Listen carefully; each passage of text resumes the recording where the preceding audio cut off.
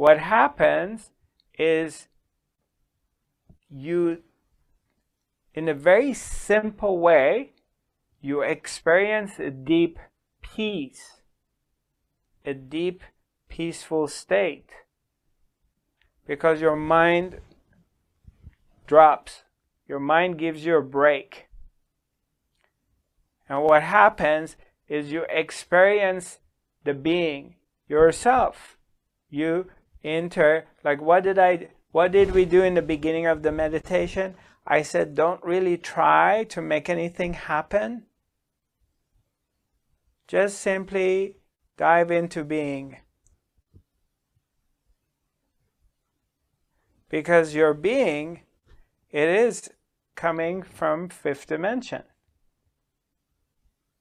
So when you dive back into just simply being without any mental activities, without any sort of engagement with your emotions, and no investment in these emotions, then vastness takes over.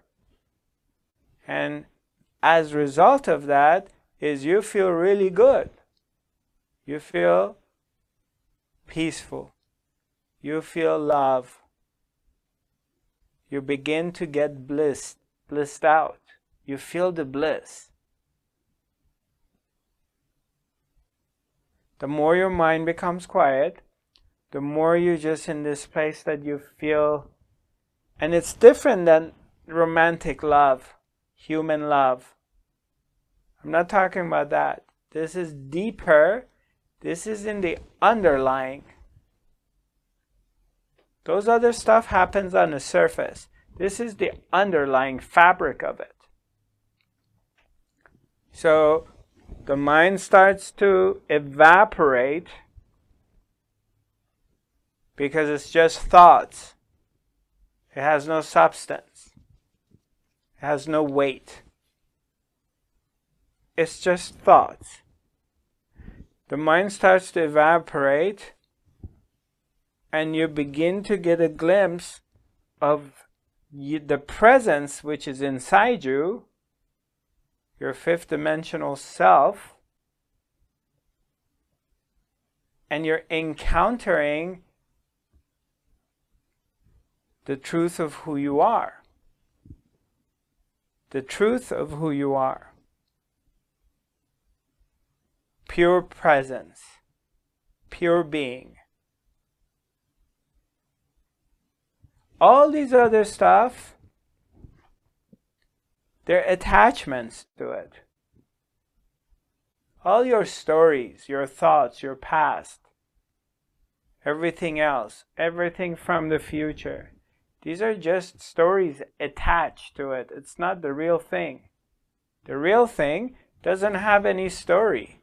It simply is. It doesn't have an agenda. It's not even trying to go anywhere. Your fifth dimensional self, your true self, is not evolving into anything or regressing to something else. It simply is here. So when you drop your story and you're able to quiet your mind, you begin to experience it and it's juicy. It's alive. It's happening. And you're like, oh my God, this is unbelievable. Oh my God. Yeah, it is. And it's in you. It's yourself. You just can't let go of your story. That's your problem. You're too stuck in there. You're too attached and addicted to your story. And that's why I'm here to cut your head off. If you get close, I'm going to cut your head off.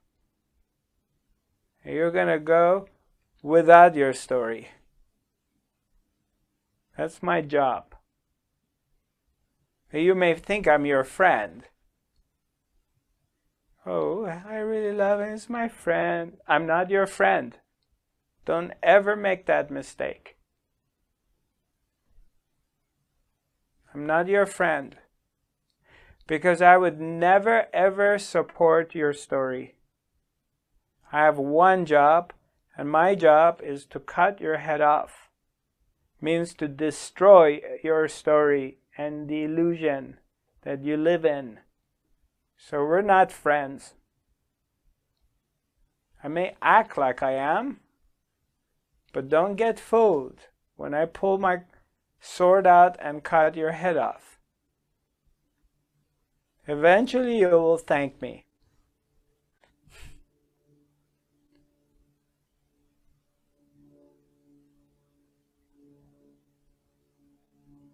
There's no friendship here. Leave it.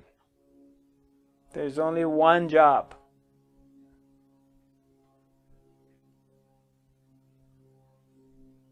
One mission.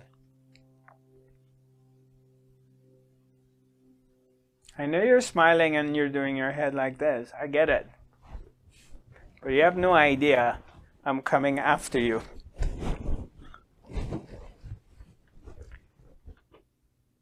So, you got to drop your story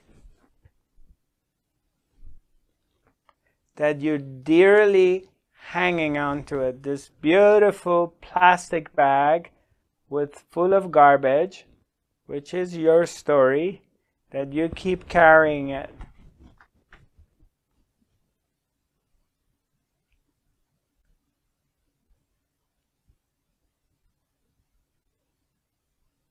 Because that's what's keeping you away.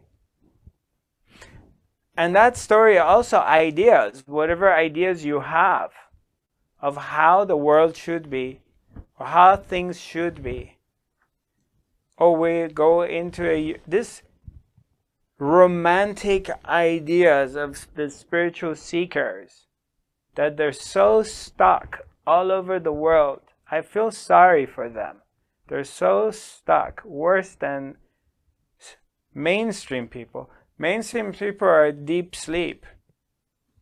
Spiritual seekers, it's in a second sort of a sleep it's a second type of conditioning which is worse than the other conditioning.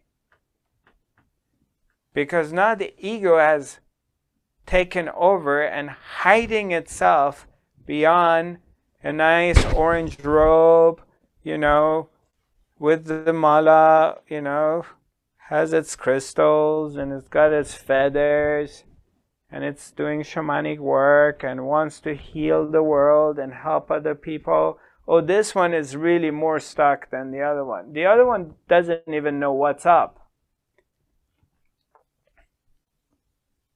This one is in deep shit because its ego has re-emerged as the healer or whatever. You got to drop that story too. It's a story in your head.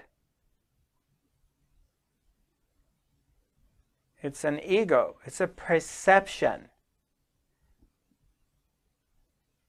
This entire awakening business is a perception.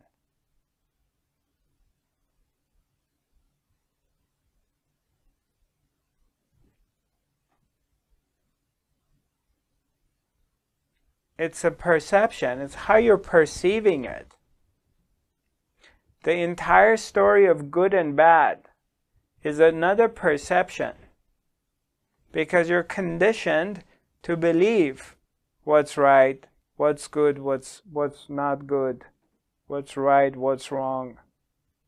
And all these belief systems they're holding you back from really truly experiencing your true self, your power, the love which is inside you derives from peace.